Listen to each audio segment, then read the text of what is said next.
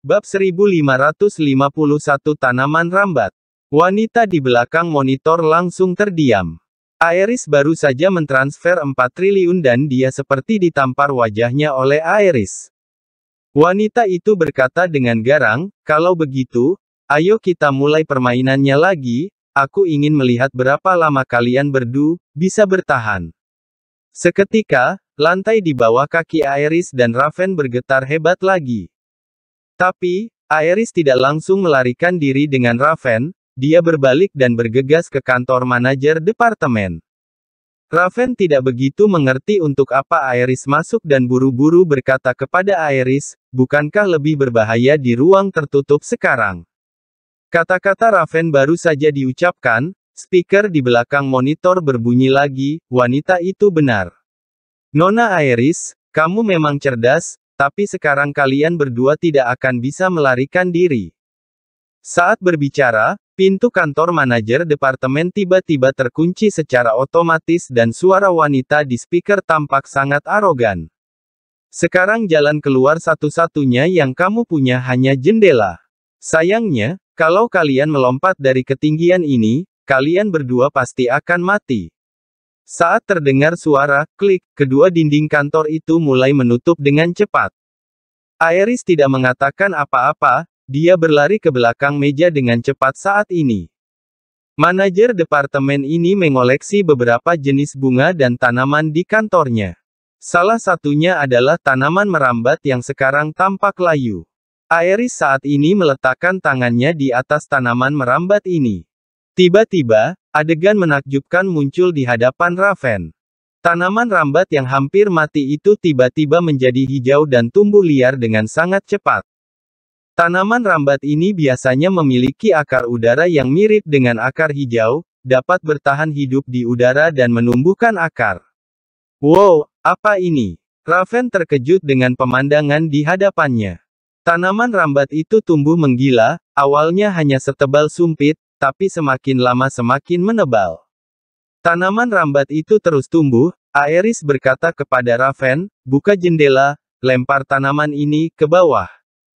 Setelah Aeris berkata demikian, Raven langsung bereaksi dan buru-buru membuang tanaman itu ke bawah. Tapi, tanaman merambat itu tidak bisa terus tumbuh, karena bagaimanapun juga tanaman itu tidak bisa tumbuh setebal itu dalam waktu singkat. Dan sekarang tinggal dua atau tiga meter lagi di tembok, jika tidak tumbuh lagi, kedua orang itu akan dalam bahaya. Aeris langsung naik ke jendela dan berbicara kepada Raven, aku akan turun dulu, kamu ikuti aku. Raven mengangguk sedikit dan menelan ludahnya. Bagaimanapun, mereka sekarang berada di lantai 12, dari ketinggian ini, jangankan turun menggunakan tanaman ini, berdiri di samping jendela dan melihat ke bawah saja sudah bisa membuat ketakutan setengah mati. Tapi, Aeris benar-benar turun. Tindakan beraninya ini benar-benar membawa dampak yang sangat kuat bagi Raven. Biasanya Aeris memberikan kesan sebagai wanita muda yang cantik. Meskipun dia pekerja keras di tempat kerja, tapi dia terlihat seperti wanita perkotaan yang tidak pernah mengalami badai.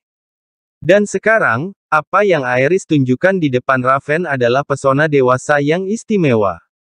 Bab 1552 kita pasti akan hidup.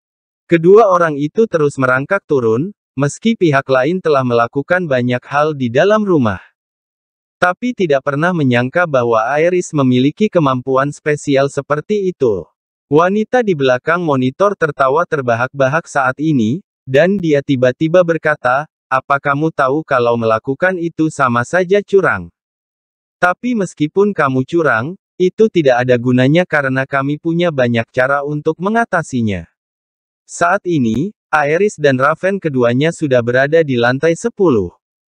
Tanaman rambat itu terlihat tumbuh liar dengan sendirinya, tapi nyatanya, mereka tumbuh sesuai dengan konsepsi lintasan Aeris sendiri. Lintasan pertumbuhannya terlihat seperti tangga, jadi Aeris dan Raven turun dengan cukup cepat. Tapi saat ini, ada seorang pria berpakaian hitam, dari jendela lantai 11 yang menjulurkan tubuhnya keluar, dia memegang gergaji di tangannya. Pria berpakaian hitam ini dengan sengaja menjulurkan kepalanya keluar jendela dan tersenyum menunjukkan sederet gigi putih kepada Aeris. Dia tersenyum sinis dan berkata kepada Aeris, sebenarnya sangat sayang untuk membunuh dua wanita cantik seperti kalian. Tapi sayang sekali ini adalah aturan mainnya, karena kamu tidak mematuhi aturan main, jadi kamu harus menanggung nasib ini. Tapi sekali lagi, aku belum pernah melihat dua wanita cantik seperti itu jatuh dari ketinggian sampai mati, akan seperti apa ia pas jatuh. Apa akan terlihat seperti bunga yang jatuh dari pohon? Setelah mengatakan itu, pria berpakaian hitam itu memotong tanaman rambat dengan gergaji. Aeris dan Raven telah turun dengan tanaman rambat itu sampai ke jendela di lantai sembilan. Tapi tidak ada tanaman rambat lagi untuk dipanjat. Aeris segera memimpin Raven dengan cepat masuk dari kantor, di dalam kantor ada koridor panjang, dan semua yang ada di koridor ini telah dievakuasi. Saat ini, mereka merasa ngeri karena mengetahui bahwa pintu semua ruangan di kedua sisi koridor telah dikunci, bahkan kantor tempat mereka keluar. Saat ini, dinding di kedua sisi koridor mulai menutup lagi, Aeris yang biasanya sabar, sekarang sedikit marah. Dia mengulurkan jari-jarinya yang ramping ke monitor dan berkata dengan suaranya yang merdu di udara, tidak bisakah kalian mengubah trik Kalan? Berapa kali kalian akan menggunakan trik yang sama terus-menerus, aku bosan. Suara kasar wanita itu datang dari speaker monitor, cantik, tentu saja kami tidak akan bosan, dan bagi kami, bermain dengan dua wanita cantik sepertimu adalah hal yang sangat luar biasa. Kamu tidak tahu bahwa orang-orang kaya yang bersembunyi di balik layar dan mempertaruhkan nyawa dan kematianmu sudah menjadi gila sekarang. Semula banyak orang kaya yang naksir kamu sampai mati, dan mereka bertaruh lagi, ingin kamu hidup, hahaha, semoga kamu benar-benar bisa hidup. Aeris menggertakkan giginya dan berkata dengan suara yang sedikit marah, kita pasti akan hidup. Wanita di belakang monitor membeku sejenak dan tertawa, baruan kamu berteriak ketakutan, kenapa kamu tiba-tiba begitu percaya diri saat ini? Karnu tidak akan bisa melarikan diri dari perangkap yang sudah dirancang untukmu dengan kekuatanmu, jangan bermimpi. Perangkap ini membutuhkan waktu setengah tahun untuk dibangun. Bab 1553 Kejahatan mendapat imbalannya. Tahukah kamu berapa banyak uang yang telah kita keluarkan untuk pertunjukan hari ini? Sekarang kalian berdua adalah tikus lab atau beruang di sirkus, hanya untuk hiburan kita. Kamu hanya alat yang kita gunakan untuk menghasilkan uang, sekarang mulaulah berteriak dan panik dan melarikan diri. Biarkan orang kaya dan berkuasa merasakan apa yang akan dilakukan dua wanita cantik dalam keadaan yang sangat panik. Tapi, tidak peduli bagaimana wanita di belakang monitor berteriak, Aeris dan Raven hanya berdiri di sana tak bergerak, mengabaikan dua dinding yang terus menutup. Ketika wanita di belakang monitor melihat mereka berdua tidak bergerak, dia mengeluarkan raungan marah, wanita bodoh, apa kamu benar-benar tidak takut mati? Apa menurutmu kami tidak akan membuatmu terbunuh karena kamu baru saja memasang taruhan 4 triliun? Saat ini, Aeris tidak lagi menunjukkan kepanikan sedikit pun, malahan dia tersenyum, seolah semua bencana di depan matanya telah berakhir. Seolah-olah dia kembali ke perusahaannya sendiri, berjalan selangkah demi selangkah melalui koridor yang sangat berbahaya. Dia berkata sambil berjalan. Aku yakin kamu akan membunuhku dan aku yakin kalian para penjahat akan mendapatkan balasannya. Balasan. Hahaha. Wanita di belakang monitor tertawa terbahak-bahak, wanita bodoh, kamu selalu memikirkan hal-hal seperti idiot, apa kalian hanya mengandalkan apa yang bisa kalian lakukan? Oh, menurutmu Linggar grupmu bisa berurusan dengan kami. Di wilayahmu, Linggar grupmu mungkin memiliki sedikit pengaruh, tapi cuma itu saja. Kamu mungkin tidak pernah bisa membayangkan betapa besar organisasi kami, jangankan general manajer grup kecil sepertimu, pangeran atau putri dari suatu negara saja bisa kami permainkan. Apa iya? Kalau begitu aku penasaran, bagaimana kamu akan bermain denganku? Suara dari speaker monitor baru saja jatuh, tiba-tiba suara Tifa terdengar dari ujung koridor.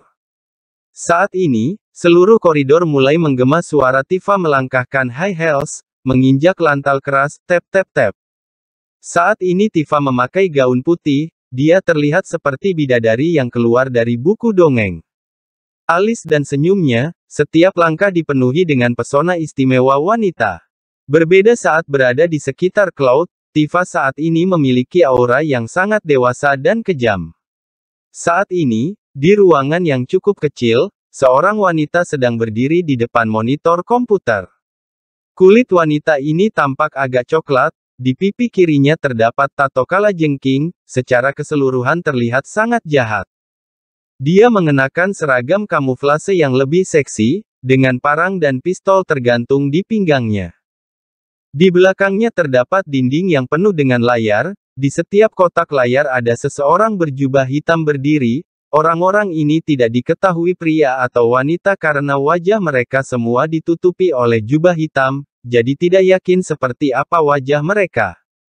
Tapi, sebagian dari orang-orang ini melihat saat Tifa muncul, Semuanya tampak sangat kaget. Salah satu dari mereka bahkan terkejut, kenapa dia bisa ada di sini. Bab 1554 Game Over. Setelah beberapa saat terkejut, pria itu tiba-tiba tertawa terbahak-bahak saat dia menoleh ke wanita dengan tato kala jengking dan berkata, Kala, cepat. Cepat aktifkan jebakan selanjutnya dan bunuh putri Persia ini. Yang harus kamu lakukan adalah membunuhnya aku akan membayar semua biaya sponsor untuk organisasimu selama 10 tahun ke depan. Kala berbalik dan bertanya kepada pria yang terlihat sangat bersemangat. Tuan bangsawan, apa yang baru saja kamu katakan itu benar? Siapa wanita ini? Bukankah dia masih kekasihmu? Tepat saat kata-kata Kala jatuh, dia mendengar suara asing yang datang dari pengeras suara monitor. Aku tidak menyangka akan melihat seorang putri Persia di tempat kecil seperti Linggar Group. Tadi kupikir hanya mirip saja, tapi setelah dibenarkan oleh tuan bangsawan ini, itu berarti aku tidak salah. Aku heran kenapa putri dari kerajaan Persia muncul di sini. Bukankah dia masih rapat di Red Bay beberapa hari yang lalu? Aku dengar dia telah melakukan kontak dengan Dewa Perang selama ini, apa Dewa Perang juga telah datang ke Sinra? Begitu suara tua itu terdengar, orang-orang di belakang monitor mulai berdiskusi. Dari kata-kata mereka, bisa dikatakan bahwa mereka memiliki kekhawatiran yang mendalam terhadap dewa perang, dan pria yang dikenal sebagai tuan bangsawan itu tiba-tiba mengangkat suaranya dan berkata, "Jangan khawatir semuanya, tidak mungkin dewa perang akan datang ke sini." Putri kerajaan ini muncul di sini karena ada proyek yang baru dikembangkan dari Linggar Group yang telah menarik perhatiannya. Proyek ini ada hubungannya dengan penerbangan luar angkasa, putri kita yang belum dewasa selalu berharap bisa bersama Dewa Perang selamanya. Jadi, selama Dewa Perang tertarik dengan proyek tersebut, dia akan menghabiskan waktu dan tenaga untuk penelitian. Kalian harus tahu bahwa Dewa Perang beberapa waktu lalu menempatkan beberapa satelit lagi ke langit, untuk fungsi dari satelit itu sendiri masih belum jelas. Tapi, menurut beberapa informasi yang aku dapatkan, ada kemungkinan Dewa Perang akan memasang kembali stasiun luar angkasa pribadi di langit dan kemudian melakukan penelitian khusus di dalamnya. Perkataan Tuan Bangsawan menarik spekulasi dari orang-orang yang mewakili kekuatan besar dan pada saat yang sama ada beberapa wanita di antara orang-orang ini. Wanita-wanita ini, seperti wanita di seluruh dunia lainnya, merasakan keingintahuan yang tak tertandingi sekaligus ketertarikan pada pria yang berdiri di puncak umat manusia. Mendengar bahwa Linggar Group memiliki proyek seperti itu, mereka semua berkata bahwa mereka akan segera mengirim orang ke Linggar Group untuk mengambil proyek ini. Oke, oke, kalian bisa mendiskusikan masalah ini sendiri secara pribadi, sekarang ayo kita lanjutkan permainannya. Saat ini, suara laki-laki yang agak pelan tiba-tiba terdengar dari mikrofon kala, maaf, sepertinya permainanmu tidak bisa dilanjutkan. Saat suara ini terdengar, semua orang, termasuk Kala tercengang. Karena bukan hanya mikrofon Kala, tapi setiap mikrofon orang-orang yang bersembunyi di balik layar keluar suara itu. Hal ini tidak pernah terjadi sebelumnya. Karena semua orang bersembunyi di bawah jubah hitaran, sangat sedikit orang yang tahu identitas asli mereka kecuali Kala. Orang-orang yang berjubah hitam ini, mereka juga tidak yakin siapa orang itu. Karena suara dan informasi IP mereka telah dilindungi. Kecuali mereka menyebarkan identitas mereka sendiri seperti yang dilakukan Tuan Bangsawan barusan, tidak mungkin ada orang lain yang tahu identitas mereka. Saat ini suara seorang pria yang terkejut terdengar ke saluran tunggal setiap orang.